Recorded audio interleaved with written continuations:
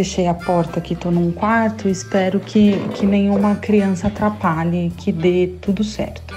A paralisação das atividades acadêmicas e escolares presenciais, determinada em virtude da pandemia de Covid-19, impôs uma nova rotina às pesquisadoras que são mães. Se antes era possível separar temporal e espacialmente os afazeres profissionais e o cuidado com a casa e os filhos, hoje essas tarefas se misturaram. Nessa nova realidade, o espaço de trabalho dos pais se mescla com a escola e o lugar de recreação dos filhos, e ao mesmo tempo se tenta dividir o dia para a realização de mil tarefas. O resultado é uma diminuição na produtividade acadêmica, que já foi relatada em estudos realizados durante a pandemia. O movimento Parenting Science, que trata das consequências da chegada dos filhos na carreira científica de mulheres e homens, fez um levantamento nos meses de abril e maio para ver o impacto do isolamento social por causa da Covid. O levantamento revelou que as mães são as principais afetadas. Enquanto 65% dos pais entrevistados conseguiram submeter artigos científicos como planejado, esse número caiu para 47% das mães. Vamos deixar o link para a pesquisa no site. Eu sou Bianca Bosso, bióloga e divulgadora de ciências. Eu sou Beatriz Oretti, estudante de jornalismo, e esse é o episódio número 104 do podcast Oxigênio. Você está ouvindo Oxigênio.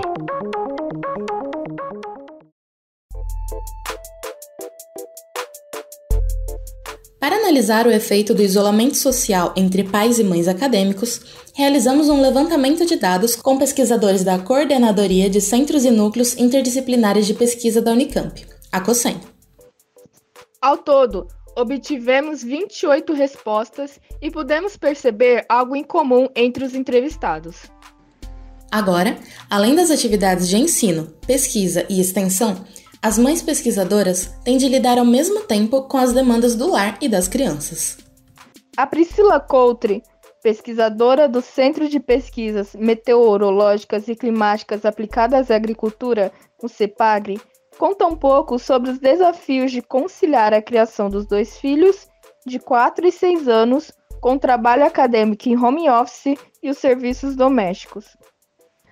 O que é mais difícil é isso, é, é ter que fazer tudo ao mesmo tempo, né?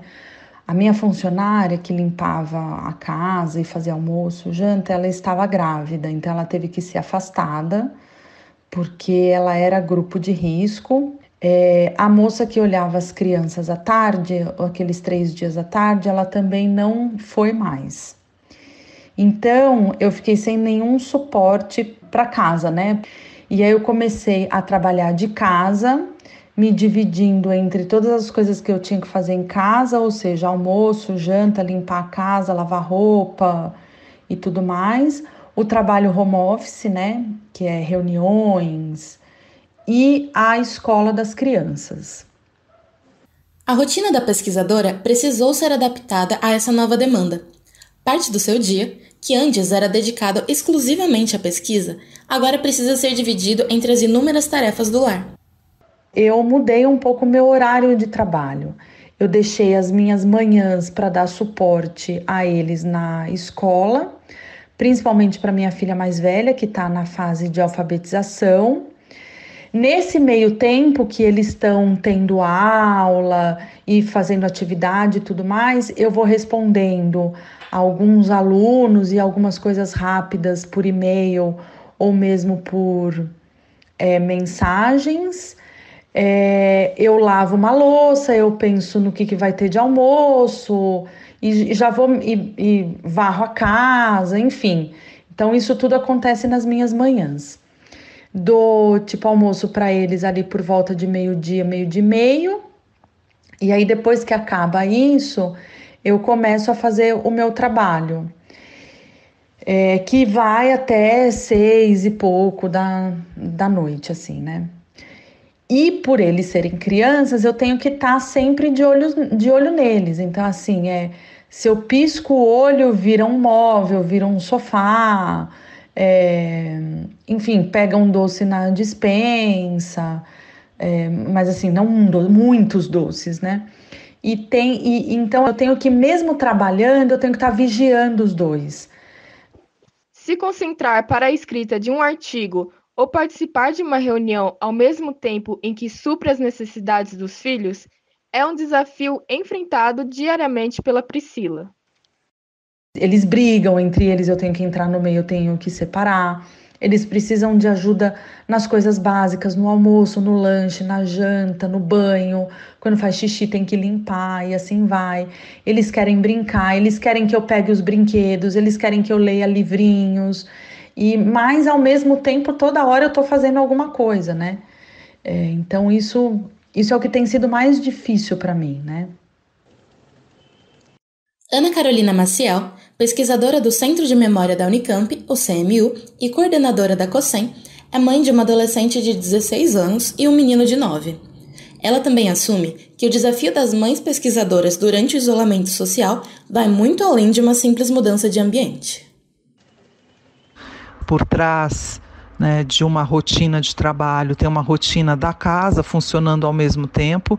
É diferente você sair para trabalhar, você muda o chip, né, você sai desse ambiente e vai para a universidade e consegue uh, se distanciar um pouco uh, da lida doméstica e das preocupações da rotina das crianças, enquanto que nós estamos trabalhando no mesmo ambiente que as crianças estão estudando, que as crianças estão uh, com o ócio, né, com os intervalos uh, do tempo de atividades da escola, sem ter para onde ir, sem ter o que fazer.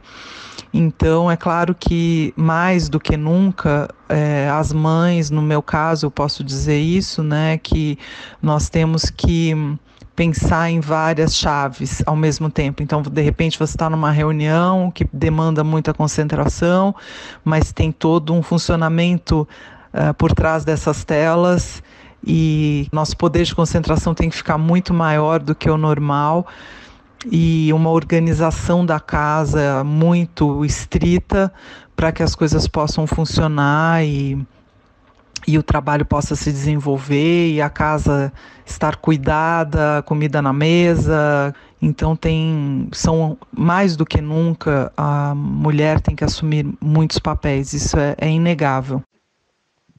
Germana Barata, pesquisadora do Núcleo de Desenvolvimento da Criatividade, o NUDECRI, também sente que sua rotina foi afetada pelas dificuldades de equilibrar suas atribuições como pesquisadora e mãe de dois filhos, de 9 e 13 anos. Fica muito tênue a nossa linha de o que é trabalho e o que é vida particular, né? Então a gente acaba tendo mais coisas para fazer do que normalmente.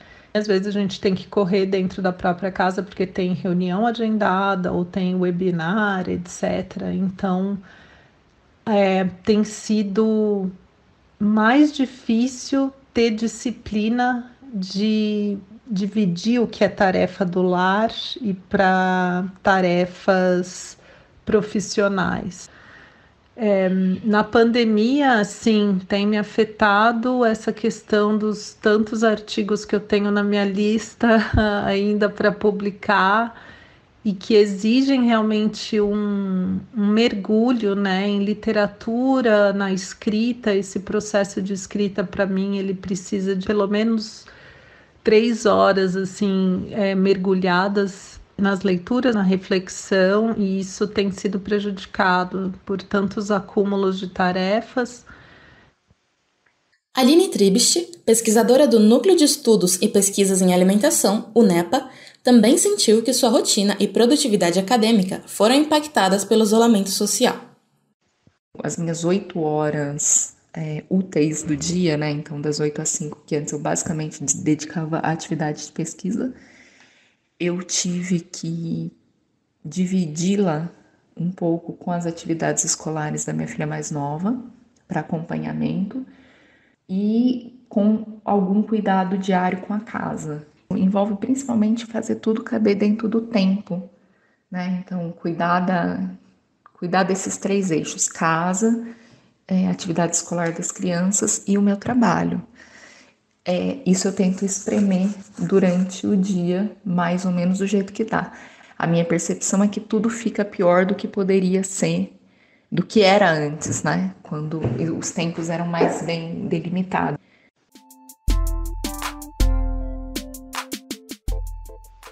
Guida Deber, docente do Departamento de Antropologia da Unicamp, estuda questões de gênero e família e explicou ao Oxigênio que um terceiro turno foi acrescido à rotina de mães pesquisadoras durante a pandemia.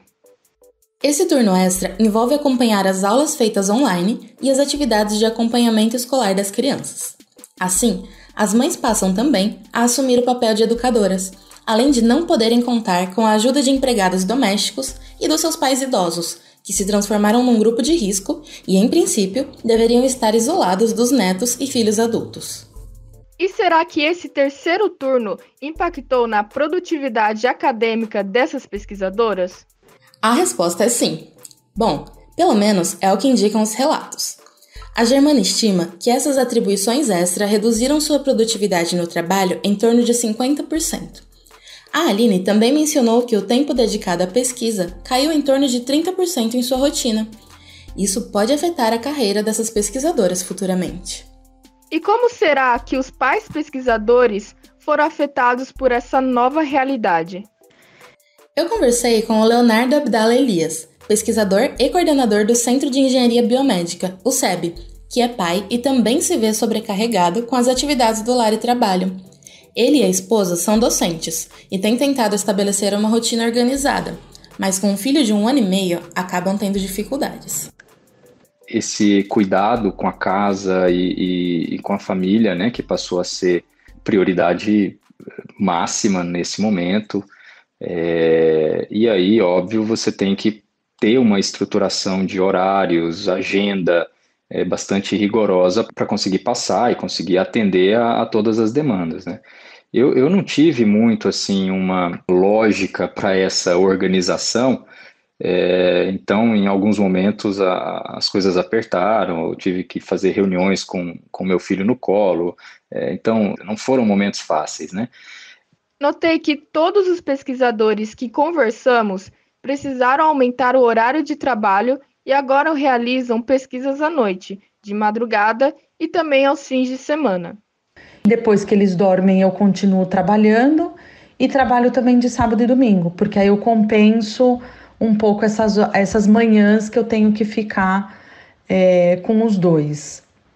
Muitas vezes eu tenho também que estender para de noite esse trabalho, né? É, estender esse horário para conseguir dar conta de todas as coisas.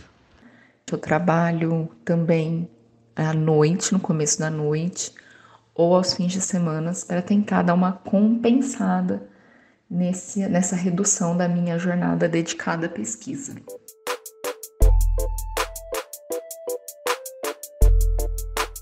Essas foram a Priscila, a Germana e a Aline. Isso me lembrou de uma conversa que tive com outro pesquisador. Assim como Leonardo, outros pais também têm participado da nova rotina de casa e filhos e veem um impacto negativo em seu trabalho. Manuel Falheiros, pesquisador do Centro de Integração, Documentação e Difusão Cultural, o CIDIC, tem dois filhos pequenos. Desde o início da pandemia, sua rotina, como a de todos, mudou. Com os filhos dentro de casa o tempo todo, exigindo cuidados, parte do seu trabalho é feito de madrugada. Eu tenho, na medida do possível, dividido as tarefas e o trabalho, né? Pois minha esposa também trabalha em casa e ela precisa de tempo para realizar as reuniões que são online e também o trabalho que, é, que precisa ser feito. Muito provavelmente, se no meu caso eu deixasse a maior parte das tarefas, né? Que se eu não as realizasse, eu certamente teria é, mais tempo para as minhas tarefas é, de trabalho e conseguiria realizar todas a contento, o que não está acontecendo, sem a, a dificuldade e o preço de trabalhar de madrugada e uh, não poder contar com descanso. Para quem tem filhos pequenos como a Priscila, o Manuel e o Leonardo, durante o isolamento, os cuidados com as crianças norteiam a organização da rotina de trabalho. Nós, em casa, nós temos um filho de um ano e meio, então é, o cuidado com ele foi, assim, essencialmente isso norteou toda a nossa toda a nossa estruturação em casa era para cuidar do nosso filho. E, e a gente acabou obviamente tendo tendo um impacto na, nas atividades acadêmicas né profissionais que tornou assim o dia a dia bastante difícil né na nossa conversa com a professora Gita Deber, ela explicou que há um ideal de divisão na realização do trabalho doméstico. Apesar disso, os dados das pesquisas mostram que, mesmo que os homens estejam se dedicando mais às demandas da casa, ainda assim, o tempo gasto pelas mulheres nessas tarefas é muito maior do que o dos homens. Algumas das falas corroboram o apontamento da pesquisadora Guida. Embora não seja uma queixa de Aline e Priscila, a rotina de trabalho de seus parceiros durante a pandemia não permite que elas dividam igualmente os cuidados do lar e com os filhos, seja por terem continuado com o trabalho presencial ou por não conseguirem adaptar seus horários ao novo cenário. Além disso, há casos específicos em que funções não podem ser assumidas pelos parceiros, como a amamentação de crianças pequenas, por exemplo. O conceito de que mães devem assumir as responsabilidades pelos filhos e lar quase integralmente está enraizado em nossa sociedade e é reforçado por comportamentos que, à primeira vista, podem parecer inofensivos.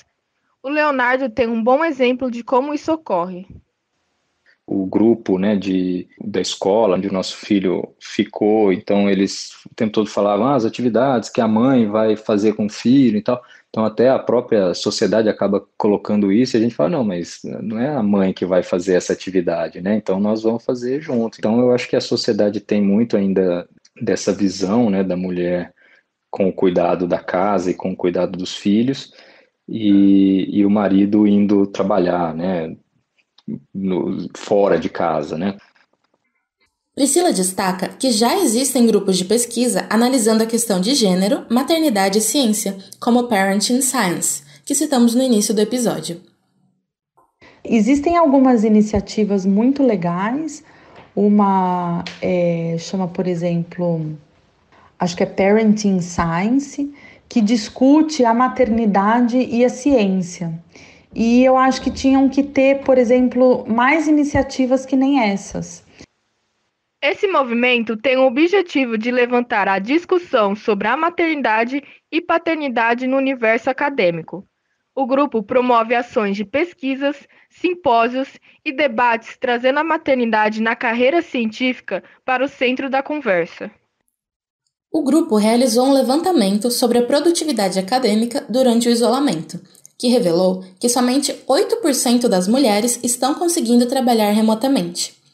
Quando analisamos separadamente mulheres com filhos e sem filhos, vemos que somente 4,1% das mulheres com filhos estão trabalhando normalmente, enquanto 18,4% das mulheres sem filhos conseguiram manter sua rotina de trabalho. Já entre os homens, a porcentagem é bem diferente. 14,9% dos homens com filhos conseguiram manter suas atividades remotamente, enquanto 25,6% dos homens sem filhos continuaram trabalhando normalmente no período de isolamento. Para verificar se esses números correspondem à realidade dos pesquisadores dos centros e núcleos da COSEM, realizamos um levantamento online. Obtivemos 28 respostas, das quais 64,3% foram de mulheres. Isso revelou que 54,5% dos entrevistados com filhos admitem que houve diminuição em sua produtividade durante o período de isolamento. Além disso, 77,3% concordam que as medidas de isolamento social aumentaram sua carga de tarefas. Para esse mesmo dado, 66,7% dos pesquisadores sem filhos relatou que notou diminuição em sua produtividade, sendo que 50% deles notou aumento em sua carga de tarefas.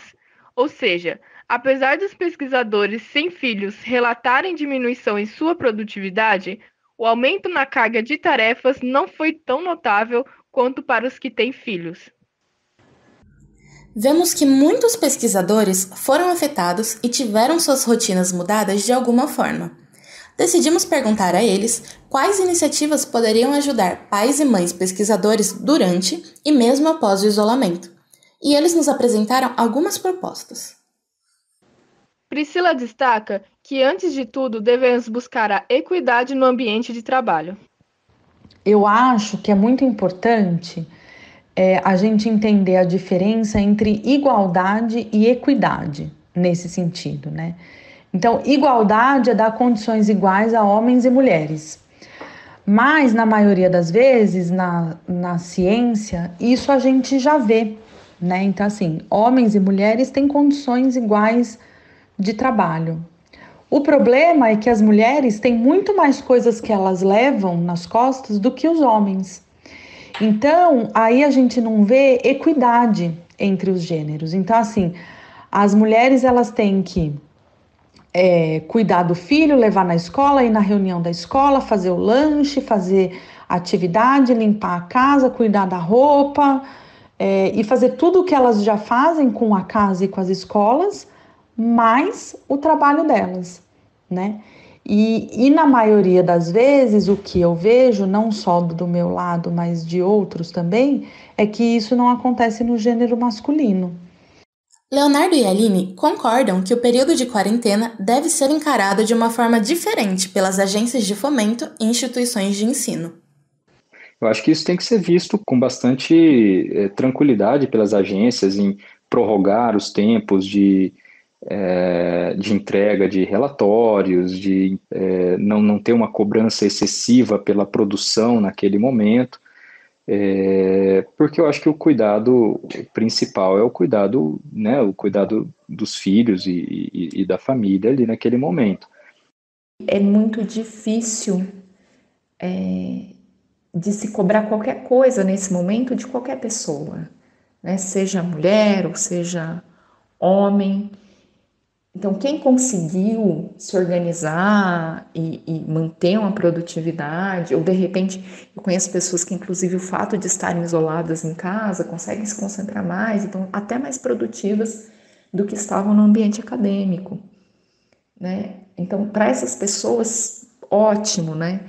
Mas que não sejam penalizadas aquelas que, pelos mais diversos motivos, não, não conseguiram Ana Carolina conta que, apesar de ter encarado desafios inerentes à nova situação, foi uma dessas pessoas que conseguiu aproveitar o período para criar novos projetos. A pesquisadora e coordenadora da COSEM explica que, além de continuar suas funções, criou um novo projeto durante o isolamento, o Memórias Covid-19. Bem, a pandemia é, acabou me inspirando a fazer um novo projeto de pesquisa. Eu tenho um temático na FAPESP e eu propus um subprojeto que é, se trata-se da plataforma Memórias Covid-19. Como eu trabalho com memória e com trajetórias de vida, logo no começo da pandemia, eu achei que seria importante ter algum projeto ligado a isso e eu fui desenvolvendo esse projeto ao longo dos últimos meses e efetivamente nós lançamos há duas semanas. A pesquisadora contou como funciona o projeto. É uma plataforma Memórias Covid-19, onde as pessoas podem compartilhar os seus relatos, seus olhares é, sobre esses tempos de pandemia. Não necessariamente alguém que tenha adoecido ou que esteja conseguindo fazer o isolamento, mas cada um de nós que tem uma vivência sobre isso, uma interpretação desses tempos, então as pessoas podem enviar fotografias, vídeos, textos, é, áudios. É uma plataforma que aceita vários formatos e eu acho que é uma coisa muito importante que a gente vá delineando aí um arquivo memorial dessas vivências. Então, em termos de pesquisa, na verdade, eu abri mais uma frente de trabalho, não diminuiu a minha produtividade, muito pelo contrário, eu potencializei a minha produtividade para pensar e refletir esse momento é, causado pela pandemia. Para saber mais sobre o projeto e enviar o seu relato, você ouvinte pode acessar as redes sociais procurando por Memórias Covid-19. No entanto, é importante relembrar que, por diversos motivos, isso não foi uma realidade experienciada por todas as mães pesquisadoras. Pensando nisso, a Germana sugere a adoção de algumas iniciativas que a Unicamp, outras universidades e agências de fomento podem implementar para ajudar as mães cientistas após o isolamento social. Talvez fosse interessante que as universidades trouxessem rodas de conversa entre pesquisadoras, cientistas, mães, é, com estudantes, né, homens e mulheres, é, ter esse reconhecimento, por exemplo, no Lattes, como esse movimento de definir, olha, eu sou mãe, então é, não é assim, tenha pena de mim, não é isso, mas é considere que eu tenho tarefas gigantescas além do, do do trabalho, né? O olhar não pode ser o mesmo de uma, uma mulher sem filhos. É, isso é algo que eu, eu, eu coloco e coloquei ao longo da, da minha trajetória nos relatórios, né? Para a Unicamp, para mostrar a minha produção, sempre lembrar as pessoas que estão me avaliando de que, olha, essa é toda a minha produção e eu tive dois filhos nesse percurso, ou tive um filho nesse momento, né, para isso ser considerado. Ana Carolina também traz uma reflexão sobre as condições das mulheres que atuam na área científica para além do período de pandemia que estamos vivendo. Eu acho que nós temos ainda um longo percurso. Muitas vezes o fato da mulher ter que se ausentar durante o período de para cuidar dos seus filhos, etc., né, das licenças, maternidade, de repente ela volta e tem um acúmulo esperando, né? Eu acho que teria que ter um olhar mais atento a isso é, em termos de produção para uma mãe que tem filhos pequenos, é, pensar essa questão dos múltiplos papéis.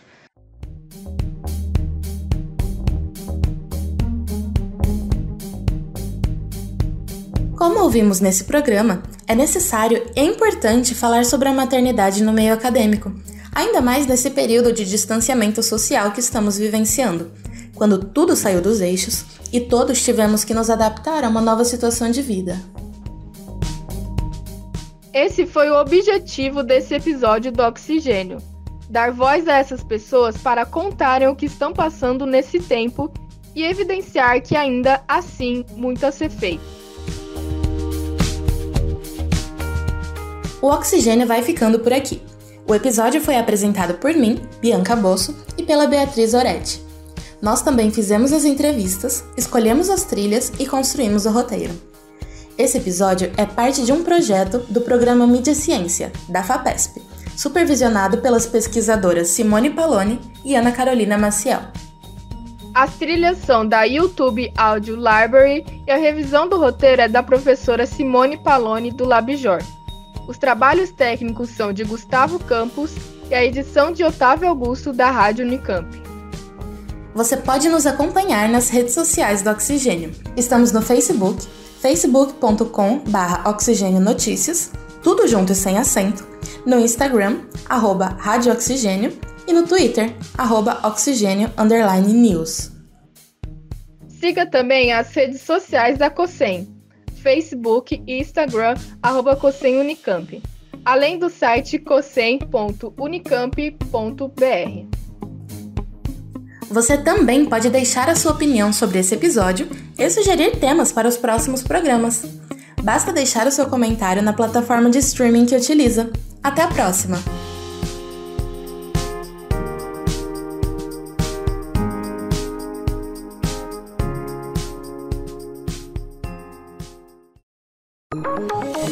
Oxigênio. Um programa de ciência, cultura e tecnologia produzido pelo LabJor em colaboração com a Rádio Unicamp.